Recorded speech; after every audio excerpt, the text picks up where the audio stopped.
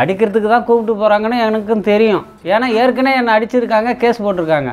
அதனால் அடிக்கிறதுக்கு தான் கூப்பிட்டு போகிறாங்க அப்படின்னு நானே புரிஞ்சுக்கிட்டேன். அண்ணன் உயிர் நாடியை ஊம்ப வைப்பாங்களா? அதை மாதிரி ஊம்ப வைப்பானுவன் அவனுக்கு அந்த கொடுமையெல்லாம் நாங்கள் அனுபவிச்சுட்டு வந்திருக்கோம். இந்த விரலில் ஒவ்வொரு கு குண்டு ஊசியாக அப்படியே சொருகுறாங்க. அந்த பொண்ணுனுடைய மனநிலை தான் என்னை எனக்கு ரொம்ப டிஸ்டர்பிங்காகவே இருந்தது. அந்த பொண்ணு என்ன சொல்லுது? அவனுக்கு வந்து உயிர் நாடியில் வலிக்குதுங்கிறான். அவனுக்கு ஒன்று ஆச்சுன்னா நான் என்ன பண்ணுவேன்? எல்லா குற்றவாளியையும் அவங்க உயிர் நாடியில் வலிக்கிற அளவுக்கு அடிப்பாங்களா அப்படின்னு அந்த பொண்ணு என்கிட்ட கேட்குது இங்கே குறவன்ட்டு எவனுமே இல்லை கேஸ் இல்லாதவன் எவனுமே இல்லை. ஒரு செவுத்துல எடுத்துகிட்டு போய் இப்படி கையை வைக்க சொல்கிறான் அந்த கயிறாக அதிலிருந்து எடுத்து இங்கே பாரு உன் கயிறாக விழுந்திருக்குது அந்த வீட்டில். குறவர் பழங்குடியினர் சொன்னால் அவன் வந்து மது முத்திரை குத்தப்பட்ட திருடர்கள். அந்த நிலையிலிருந்து போலீஸ் அணுகுது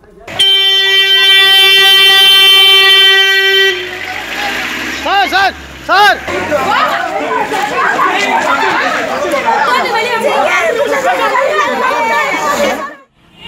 போலீஸ் சித்திரவதைகள். கள்ளக்குறிச்சி மாவட்டம் சின்னசேலம் மற்றும் கொங்கராபாளையம் அப்படிங்கிற பகுதிகளை சேர்ந்த அஞ்சு குறவர் சமுதாய மக்களை போலீஸ் அரெஸ்ட் பண்ணியிருக்கு. அது ஏன் நம்ம விசாரித்தப்ப அவங்க மேலே பல பொய் வழக்குகளை போட போகிறதாகவும் அதுக்காக அவங்கள அடித்து சித்திரவதை பண்ணுறதாகவும் நம்ம கேள்விப்பட்டோம். பதினாலாம் தேதி நைட்டு அவங்க வீட்டுக்கு போலீஸ் போய் அஹ், எழுப்புறாங்க. அந்த செ- செல்வம்ன்றவர் வெளியே படுத்துருக்கிறாரு. அவர் வந்து எழுப்புறாங்க. தூக்கத்திலே இருந்தால் எழுப்புனதும் கண்ணை முழிச்சு பார்த்தா தெரிஞ்ச போலீஸாக இருந்தாங்க. யாருன்னா நம்ம கள்ளக்குறிச்சி போலீஸ் எல்லாம் எனக்கு எல்லாருமே தெரியும். என்ன சார் இங்கே வந்திருக்கீங்க அப்படின்னா நீ ஏன்டா இங்கே வந்தேன் என்ன சார் என் பொண்ணு வீட்டுக்கு வந்திருக்கேன் இதில் போய் என்ன எங்கேயா வந்த அப்படின்னு கேட்குறீங்க அப்படின்னு அவங்கள கேட்டான். கேட்டு கொஞ்ச நேரம் அவளை அப்படியே பிடிச்சி கண்ணை கட்டிட்டாங்க. அவர் வந்து அரை நிறுவனமாக ஜட்டியோட படுத்துருக்கிறவர். உள்ளே போயிட்டு ஒரு துணி மாற்றத்துக்கு கூட அவகாசம் தராமல் அவர் அடித்து வண்டியில் தூக்கி போட்டு போகிறாங்க கீழ்குப்பத்துலேருந்து உள்ள ஒரு ஃபாரஸ்ட் காடு. அங்கே கூப்பிட்டு போனாங்க. அடிக்கிறதுக்கு தான் கூப்பிட்டு போகிறாங்கன்னு எனக்கும் தெரியும். ஏன்னா ஏற்கனவே என்னை அடிச்சிருக்காங்க கேஸ் போட்டிருக்காங்க. அதனால் அடிக்கிறதுக்கு தான் கூப்பிட்டு போகிறாங்க அப்படின்னு நானே புரிஞ்சுக்கிட்டேன். முதலில் மூன்று பேர் அழைத்து செல்கிறார்கள். அதன் பிறகு ரெண்டு நாட்கள் கழித்து ரெண்டு பேர் அழைத்து செல்கிறார்கள். இந்த மூன்று பேரின் உறவினர்களும் மனைவி மற்றும் மக்கள் எல்லாம் சேர்ந்து மாவட்ட கலெக்டர்கிட்ட மனு கொடுக்குறாங்க. தமிழ்நாடு தீண்டாமை முன்னணி முன்ன நின்று அவங்க சார்பாக மனு கொடுக்கப்படுகிறது அதுக்குள்ளே நம்ம மாவட்ட தலைவர் ராஜா வந்து ஒரு வழக்கறிஞர். அவர் என்ன சொல்கிறாருன்னா மீண்டும் வந்து நீதிபதியை நான் போய் சந்திக்கிறேன். அவர் நீதிபதியை போய் வந்து இண்டிவிஜுவலாக சந்திக்கிறார். பாதிக்கப்பட்டிருக்கிறார்கள் என்று தெரிஞ்சு போகுது. ஆக அவருடைய அதிகாரத்துக்கு உட்பட்ட மூன்று station Kallakurichi Thiyagadurgam Varanjaram. Surprise visit அடிக்கிறது உங்களுக்கு அதிகாரம் உண்டு. அந்த அதிகாரத்தின் கீழே போய் பார்த்துட்டு வர்றாரு. யாரும் எங்கேயும் இல்லை. சட்டம் என்ன சொல்லுதுன்னா இருபத்தி நான்கு மணி நேரம் அதுக்குள்ளே சரண்டர் கோர்ட்டு கொண்டு வந்து ஒப்படைக்கணும். அது இதில் நடைமுறைப்படுத்தப்படவில்லைங்கிறது தான். கள்ளக்குறிச்சி எஸ்பி லீவில் இருக்காரு ஜியா உல் ஹக் அவர் லீவ் பட் இன்சார்ஜில் இருக்கவர் விழுப்புரம் எஸ்பின்னு அவர் சொல்கிறாரு என்கிட்ட. நான் விழுப்புரம் எஸ்பிகிட்ட கேட்குறப்ப என்ன சொன்னார்? ஆமாம் மேடம் மூணு பேர் கஸ்டடியில் இருக்காங்க. மிச்சம் ரெண்டு பேரை நாங்கள் விட்டுடுவோம். இன்வால்வ்மெண்ட் இல்லைன்னு தெரிஞ்சிருச்சு நாங்கள் விட்டுடுவோம் அப்படின்றாரு. அன்று இரவு அந்த மூன்று பேரில் ஒருத்தரையும் இந்த ரெண்டு பேரில் ஒருத்தரையும் அமைச்சிடுறாங்க சக்திவேலை தவிர. இப்போ ஞாயிற்றுக்கிழமை இரவுல இருந்து திங்கள் செவ்வாய் புதன் காலைல கொண்டு வர வரைக்கும் என்ன மாதிரி அட்ராசிட்டி பண்ணாங்க அப்படின்னு அவங்க விவரிக்கிறாங்க. இந்த விரலில் ஒவ்வொரு கு குண்டு ஊசியாக அப்படியே சொருகுறாங்க. இப்படி கையை வச்சுக்கிட்டு தட்டுறா தட்டுறா தட்டுறாங்க இந்த ரெண்டு கையை இப்படி பிடிச்சி கட்டிடுறாங்க. இதை கட்டிட்டு நல்லா இந்த உலக்க மாதிரி இருக்குது. இவ்வளே நீளம் இவ்வளோ நீளம் இருக்குது. இந்த உலக்க மாதிரி ஒன்று இந்த கை உள்ளே விட்டுறாங்க உள்ளே விட்டு அந்த க க இந்த கையில் வந்து கவுத்தை போட்டு கட்டி இந்த மாதிரி ஃபேனில் மாட்டுறதுக்கு ஒரு கொக்கி ஒன்று இருக்குது பாருங்கள் அதில் போட்டு அப்படியே இழுத்து அப்படியே தூணில் வச்சு கட்டிவிட்டு அவங்க மட்டும் போயிடுறாங்க. அப்படியே கத்துற கத்துல காது ரெண்டு ஜவ்வு பிஞ்சு போகுது. அவங்க மட்டும் கட்டி போட்டுட்டு கீழே வந்துடுறாங்க வெளியே வந்துடுறாங்க. அவனா அசந்து போய் மயக்கம் வந்து விழுந்தாதான் போய் அவுத்து விட்றாங்க. அண்ணன் தம்பி ரெண்டு பேரும் ஒன்றா கிடைக்கிறோம்னா அண்ணன் உ- உயிர் நாடியை ஊம்ப வைப்பாங்களா? அதை மாதிரி ஊம்ப வைப்பானுவன் அவனுவ அந்த கொடுமையெல்லாம் நாங்கள் அனுபவிச்சுட்டு வந்திருக்கோம். ஜெய்பீம் படத்தில் காட்டின சித்திரவதைகள் எல்லாம் இப்போ நேரில் கள்ளக்குறிச்சி மாவட்டத்தில் நடந்துட்டு இருக்கு அப்படிங்கிறத நாங்கள் உங்கள் கவனத்துக்கு கொண்டு வரணும்னு நினைக்கிறோம். அவங்க சொல்கிற விஷயங்கள்லாம் கேட்டு பாருங்க. முட்டியில் சாக்கை சுற்றி அது மேலே கடப்பாயில் அடிக்கிறது. காலில் தானே ஓடுவ நீ. நல்ல வேலையை அந்த ரெண்டு பேரும் விட்டுட்டாங்க. அந்த இரண்டு பேர் நபர்களையும் விடவில்லை என்றால் கதை வேறுமாக இருக்கும். அவர்கள் கட்டாயமாக மாட்டி கொண்டிருப்பார்கள். போய் போய் போய் வழக்கிற்கு. என்ன காரணம் நம்மளே சொல்லிட்டான். நான் இப்போ தான் இருபது நாளைச்சு தஞ்சாவூர் ஜெயிலேருந்து வந்துன்னு. இவன் மட்டும் சொல்லாமல் இருந்தான்னா அவன் மேலேயும் கேஸ் போட்டிருப்பாங்க. அவன் தஞ்சாவூரில் ஜெயிலில் இருந்திருப்பான். அந்த நேரத்தில் இவங்க திருநதாக கேஸ் போட்டிருப்பாங்க மாட்டியிருப்பாங்க. ரிமாண்ட் பண்ணி கொண்டு வரவங்களாம் அஞ்சு பேரை கைது பண்ணி விசாரணை பண்ணாங்க. ஆனால் ரெண்டு பேரை தான் அவங்க வந்து ரிமாண்ட் பண்ணாங்க. மீதி ரெண்டு பேர் எங்கன்னா ரெண்டு பேரை நேற்றே நாங்கள் விடுவிச்சிட்டோம் அப்படின்னு சொன்னாங்க. ஒருத்தர் எங்கே சக்திவேல்னு சொன்னால் சக்திவேலு அதுக்கு பதிலே சொல்லலை. நீங்கள் கடைசியாக சக்திவேலை எப்போ பார்த்தீங்க கடைசியாக நான் நான் என்னை வெளியே விட்ட பின்னாடி கள்ளக்குறிச்சி நாங்கள் வந்திருந்தோம் பாருங்க தோழரை. அப்போ கூட நான் அவனை பார்க்கல. ஜெய்பீம் படம் போல் இது ஆயிடுச்சோ அப்படின்றபோது தான் அன்னை ம- இரவே டிஜிபிக்கு இப்படி ஒரு செய்தி இருக்குது. சக்திவேல் எங்கே இருக்கிறாருன்னு தெரியல. ஒருவோட உயிரோடு இருக்கிறாரா சாகடிச்சிட்டாரா அப்படின்னு தெரியலன்னு நாங்கள் ஒரு வாட்ஸ்அப்பில் ஒரு செய்தி அனுப்பிச்சோம். டிஜிபி ஆஃபீஸில் ஒரு பத்து நிமிஷத்தில் சொன்னாங்க. இல்லை அவர் உயிரோடு தான் இருக்கிறாரு. இன்னும் ஒரு இன்னும் இன்று இன்னும் இரவுக்குள்ளார அனுப்பிடுவோம் அப்படின்னு சொன்னாங்க. இன்னைக்கு அவர் அடித்து ரொம்ப சீரியஸ் ஆகி முண்டியம்பாக்கம் மருத்துவமனையில் வச்சுருக்கிறாங்க. அந்த அந்த பெண்களுக்கு அவங்களோட மனைவிமார்கள் சந்திக்கிறதுக்கு அனுமதிங்க அப்படின்னு சொன்னோம். கே அவங்க வந்து கேட்கல நாங்கள் மறியல் செய்தோம்.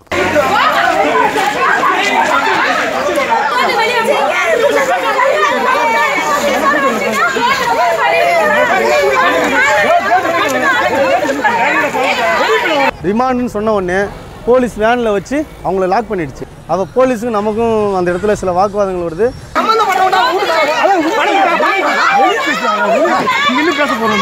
அவர் ஒரு பெரிய பிரச்சனை பிறகு கேட்டான் நிறுத்துறேன் நீதிமன்றத்தை தாண்டி கேட்டான் நிறுத்துறேன்னு சொல்லி.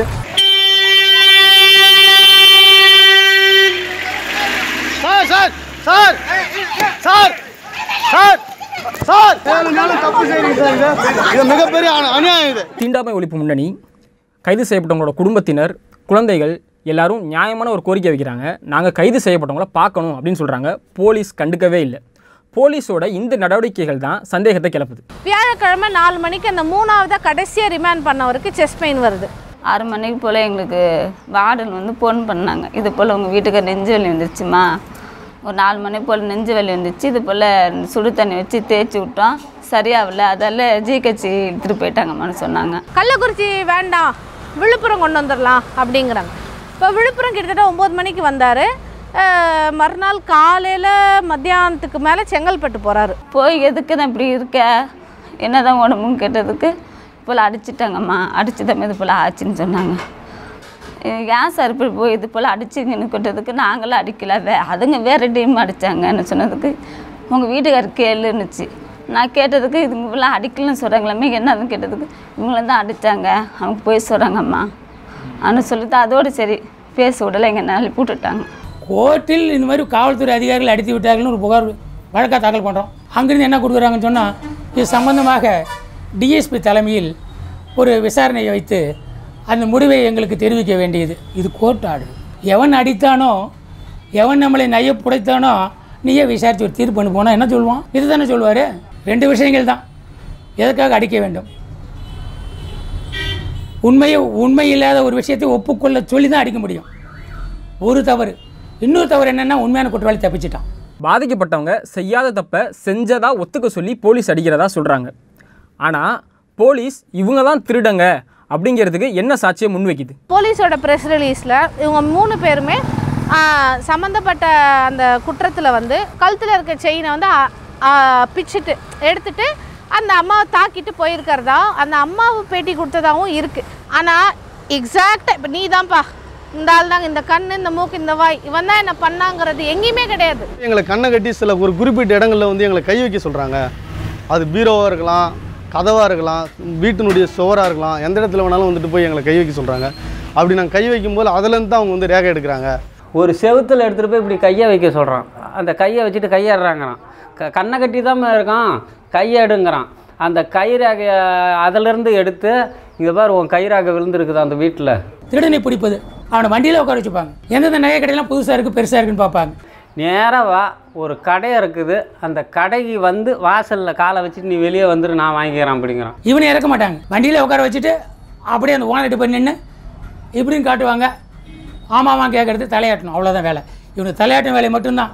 நீ தலை தலையாட்டல்னா உனக்கு வந்தா திருப்பி? காவல்துறை அவங்களே பொய் சாட்சிகளை உருவாக்குறாங்க. அப்படி பண்ணுறது மட்டும் இல்லாமல் பிடிச்ச இந்த மக்களை அடித்து துன்புறுத்தி செய்யாத தவிர செஞ்சதாகவும் ஒத்துக்க வைக்கிறாங்க. இதிலேயே தெரியுது இந்த வழக்கு மொத்தமும் பொய் அப்படிங்கிறது. ஆனால் பிரச்சனை இந்த ஒரு கேஸோட மட்டும் முடியல. மறுநாள் மதியம் பதிமூணு வழக்குகள் தாக்கல் செய்யப்படுது.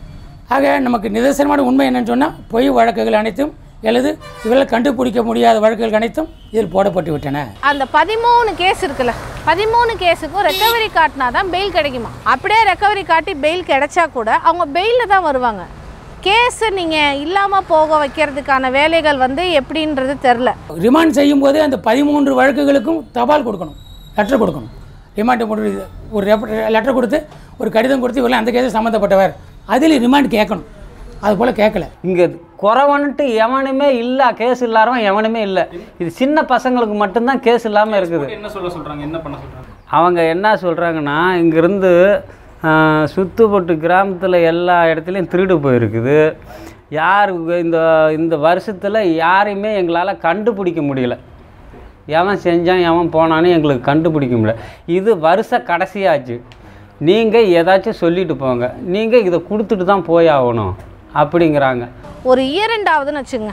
வருஷம் முடியுதுன்னா அக்டோபர் நவம்பரில் ஆரம்பிச்சிடுவாங்க இந்த ரெய்டை இயர் எண்டில் இந்த மாதிரி கொத்து கொத்தா போய் இவர்களை பிடிச்சி இவர்கள் மேலே இருபது கேஸு ஐம்பது கேஸ் ஏ கணக்கே கிடையாது. க கேஸை போட்டு ரெக்கவரி காட்டுறோன்னு பத்து பவுன் ஒரு ஒரு ஐம்பது பவுன் திருட்டு போயிருக்குங்கிற கேஸ் வருதுன்னா அதில் மொத்தமாக இருபது பவுன் ரெக்கவரின்னு காட்டி ரிமாண்டுக்குள்ளே போட்டு அப்புறம் இவன் பெயில் எடுத்து இவன் வெளியே வருவான். அடுத்த வருஷம் இதையே தொடருது இவ்வளோ சித்திரவதைகளுக்குள்ளான இவங்க மேலே இன்னும் பல பொய் வழக்குகள் போட போகிறதா சொல்கிறாங்க இது அவங்க குடும்ப பெண்களுக்கு எவ்வளவு மன உளைச்சலை ஏற்படுது பார்க்கவே விட மாட்டேன்ட்டாங்க அப்புறம் அழுந்த மாரி ஒரு டிப் மட்டும் காட்டுங்க அப்படி சொல்லி அழுந்தோம். அப்படி இப்படியா அழுந்தது அப்புறம் உள்ளார போய் விசாரிச்சுட்டு வந்து அப்புறம் பார்க்க விட்டாங்க. என் வீட்டுக்கார் மட்டும் தான் பார்க்க விட்டாங்க. தர்மராஜை பார்க்க விடலை. போய் பார்த்ததுக்கு இதுமாரி நிற்க நின்னே பேச முடியல. ரொம்ப கஷ்டமாக இருந்தது. கஸ்டடியில் எடுத்து மறுபடியும் விசாரித்து மறுபடியும் கேஸ் போடுறேன்னு சொல்லியிருக்காங்க. அப்படின்னு சொல்கிறாங்க திரும்பி கேஸ் வச்சுட்டா நான் எப்படி தான் எடுக்க போகிறதில்ல இதே பதிமூணு கேஸ் சொல்கிறாங்க இதே எப்படி எடுக்க போகிறோன்னு தெரியல. இன்னும் கேஸ் தூக்கி வைக்கிறேன்றாங்க. என்ன பண்ண போகிறோன்னு தெரியல. அந்த பொண்ணுனுடைய மனநிலை தான் என்னை எனக்கு ரொம்ப டிஸ்டர்பிங்காகவே இருந்தது. அந்த பொண்ணு என்ன சொல்லுது? யார் இப்படி பிடிச்சி அடி அடிக்க சொன்னா? அவனுக்கு வந்து உயிர் நாடியில் வலிக்குதுங்கிறான். அவனுக்கு ஒன்று ஆச்சுன்னா நான் என்ன பண்ணுவேன்? எப்படி இப்படி எல்லா குற்றவாளியையும் அவங்க உயிர் நாடியில் வலிக்கிற அளவுக்கு அடிப்பாங்களா? அப்படின்னு அந்த பொண்ணு என்கிட்ட கேட்குது ஜஸ்டிஸ் சந்துரு மாதிரி ஒருத்தர் திரும்ப வந்து இந்த கேஸ் எடுத்து நடத்துவாராங்கிறதுலாம் நமக்கு தெரியாது. அதிகாரம் தொடர்ச்சியாக எளிய சாமானிய ஒடுக்கப்பட்ட மக்கள் மீது வன்முறையை நிகழ்த்திக்கிட்டே இருக்குது இதில் கவனிக்க வேண்டிய விஷயம் என்னென்னா அது இப்போ நாம் வாழ்கிற இந்த சமகாலத்திலையும் தொடருது அப்படிங்கிறது தான். இது இனிமேல் தொடராமல் இருப்பதற்கு ஒவ்வொரு அரசியல் கட்சிக்கும் மனித உரிமை ஆர்வலர்களுக்கும் அரசியல் இயக்கங்களுக்கும் ஒவ்வொரு தனி மனிதனுக்கும் பொறுப்பு உண்டு அப்படிங்கிறத காம்ரேட் ஆக்கிஸ் மூலமாக பதிவு பண்ணுறோம் இப்போ பாருங்கள் எங்களுக்கு ஆதார் கார்டு இருக்குது ஓட்டு ஐடி இருக்குது ஜாதி சான்றிதழ் இல்லை. என் மவ காலேஜ் வரைக்கும் படிச்சிருக்கா. இந்த அண்ணனுக்கு தெரியும். இவங்க பொண்ணு அங்கே தான் படிச்சது. என் பொண்ணோட தான் காலேஜில் படிச்சது. ஆனால் டிகிரி வாங்க முடியல. உறவுரின மக்கள் மீது ஏன் இப்படிப்பட்ட ஒரு தாக்குதல் நடக்குதுன்னு சொன்னால் அவங்க பல கிராமங்களில் பார்த்தீங்கன்னு சொன்னால் வந்து மைனாரிட்டியாக இருப்பாங்க. இருக்கிறதுலே அடிமட்டத்தில் இருக்கிறதால அவனுக்கு ஈஸியாக போச்சு. இவங்களுக்கு சப்போர்ட் யாரும் கிடையாது. நேரடியாக நம்ம டீல் பண்ணிக்கலாம். இங்கே இருக்க கூட இந்த சின்ன சேலம் இன்ஸ்பெக்டர் கூட பேசினார். எங்கள் கட்சி தோழர்களோட பேசினார். இதுமாரி விஷயத்தெலாம் சிபிஎம் தலையிடாதீங்க. நிச்சயமாக இதில் தான் வலுவாக தலையிடுவோம். நீ இதில் ஆர்டர் போட முடியாது. இது போன்ற விஷயத்தான் வலுவாக தலையிடுவோம். சிபிஎம்மை தவிர எந்த அர எந்த அரசியல் கட்சியும் கேட்கலையும் பாருங்களேன். ஷாருக்கான் மகனுக்கு ஒரு சட்டமோ அல்லது அரசியல்வாதிகளுக்கு ஒரு சட்டமோ அவன் தானே கொள்ளடிக்கும் போது உள்ளே இருக்கிறாங்க? இப்படி அடிக்கிறாங்களா? ஒரு ஒரு குழு அமைச்சு அது நீதிபதியின் மேற்பார்வையில் அந்த குழு சம்பந்தம் விசாரணை நடத்தப்பட வேண்டும். இந்த அடிப்பட்ட சக்திவேல் தான் கடைசி நபராக இருக்க வேண்டும் என்பதுதான் தமிழ்நாடு தீண்டாமை ஒழிப்பு முன்னணியின் முக்கிய நோக்கம். வெள்ளக்காரன் இருந்தப்போ எவன்லாம் அவனை எதிர்த்தானோ எவன் ஈட்டி கம்பெல்லாம் கொண்டு போயிட்டு அவனுங்களை எதிர்க்கிறானோ அவங்க எல்லாரையும் கிரிமினல் ட்ரைப்ஸ் அப்படிங்கிற ஒரு லிஸ்ட்டுக்குள்ளே கொண்டு வரான். ஸோ தட் அவனோட அந்த போலீசிங்க்கு ஃபெசிலிட்டேட் பண்ண இன்றும் நமக்கு என்னென்னா குறவா வந்து குறவா கிரைம்ஸ் அப்படின்னு ஒரு ஒரு கிட்டத்தட்ட ஒரு எழுதப்படாத சட்டமாகவே போலீஸோட ப்ரோட்டோக்கால்குள்ளே இருக்குது இதுவும் போலீஸ் சோர்சஸ் நமக்கு சொல்கிறது காவல்துறைக்கு திரும்ப சென்சிட்டைஸ் பண்ண ஆரம்பிக்கும். எல்லா நேரமும் இந்த மாதிரி எல்லா ட்ரைபல்ஸை பண்ணக்கூடாதுங்கிற சென்சிட்டைசேஷன் பண்ணும். இது ரெண்டு தான் இதுக்கான ஒரு தீர்வாக இருக்க முடியும் அப்படின்னு தோணுது. குறவன்னா மட்டும்தான் திருடனாக இருக்கானா? எவனுமே திருடனா இல்லையா? நாங்கள் திருடனதை நீ பார்த்துருந்து கையுங்களவுமா பிடிச்சி நீ எந்த கேஸ் போட்டாலும் நாங்கள் ஒத்துக்கிட்டு போவோம். வீட்டில் படுத்திருக்கோம் நீ வர்ற தூக்கிட்டு போய் கேஸ் போடுற. அந்த மாதிரி பிடிச்சி பிடிச்சி கேஸ் போட்டால் எங்களுக்கு எதுக்கு இந்த நாங்கள் இந்த ஜாதியில் ஏன்டா பிறந்தான்னு ஓடுது? நாங்களாக பிறந்த இந்த ஜாதியில் பிறக்கிறோன்ட்டு சின்ன வயசுல எங்களுக்கு இந்த ஜாதின்னு எங்களுக்கு தெரியுமா? பிறக்கிறோம் அனைத்து பேரும் என் ஜாதி இந்த ஜாதின்னு சொல்ல முடியுமா?